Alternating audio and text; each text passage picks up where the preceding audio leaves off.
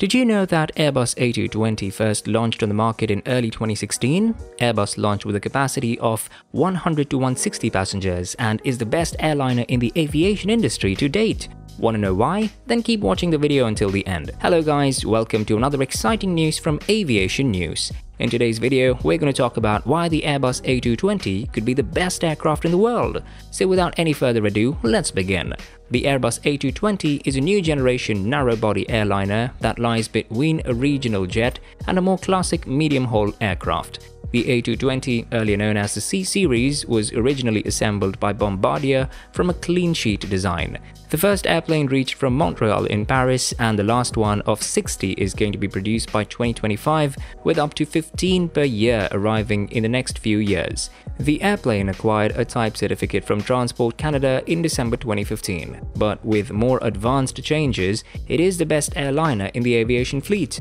It has advanced side stick controls, head-up displays HUDs, 5 large format LCD display screens, a sensed electronic checklist, wireless electronic flight bag capability, an intuitive flight management system and an auto throttle, and virtual electrical circuit breakers accessible via the displays. The seating of this Airbus is unique, with fewer seats and a matching capacity to other single-aisle aircraft, the A220 has confirmed itself as the best option for post-coronavirus travel. Airlines want aircraft that have an identical range and economic version like the larger models but with fewer seats.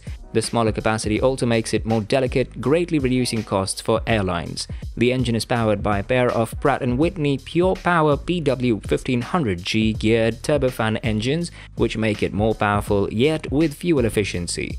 Airbus proclaims the A220 is 30% cheaper to operate per seat and uses 25% less fuel.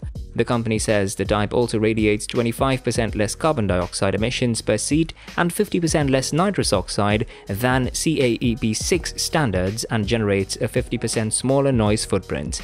These savings align with the industry's focus on being more cost effective and environmentally trustworthy.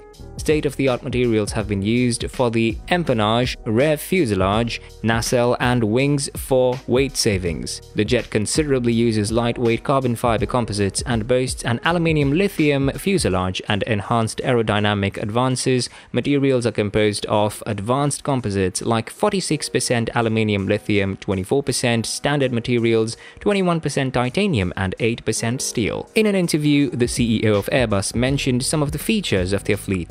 The new raised MZFW MLW will offer working flexibility in the form of additional payload. This extra payload funding will enable airlines to offer to their passengers more weight on board. Combining this improvement with the MTOW increase proves that we're constantly improving the performance boundaries of the aircraft. All of the data is launched onto these screens. The A220's flight management system is a computer system that automates a wide range of in-flight tasks. It can decide the airplane's position and, in line with the flight plan, calculate the course the aircraft needs to follow using a very smart autopilot. According to Airbus's marketing material, the A220 has 3100 to 3300 nanometer range.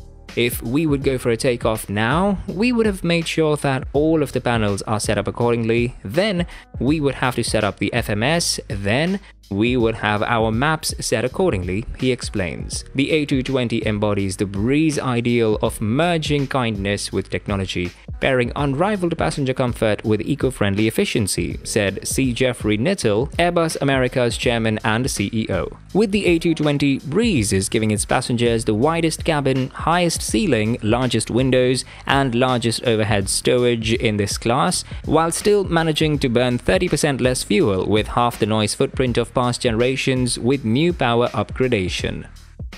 The new powers offered by the A220 are another reason for the aircraft's popularity. The upgrade in the power of the engines can now achieve new heights. A220 can now reach New York from Western Europe, fly from Dubai to Bangkok, or operate from Hong Kong to Cairns, Australia. More generally, the A220 ends up outperforming all its peers in terms of cabin comfort with an overall cabin average rating of 8.6 on 10, which is 1.2 points higher than the 737-700 which ends in this benchmark. The fairly new cabins undoubtedly help boost these grades, but it is the features of the A220 itself that have retained contributors' attentions. The result is a cockpit design that is very ergonomic and intuitive. Pilots tell, they really feel it is very easy to fly. The flight controls and the connected fly-by-wire systems allow for better control of the aircraft and flight envelope protection, which corresponds to an increase in safety and efficiency. So what do you guys think of the Airbus A220? Let us know in the comments below. And with that, we've come to the end of this video. If you enjoyed this video, make sure you like, share and subscribe to our channel for more exciting content. See you in the next video.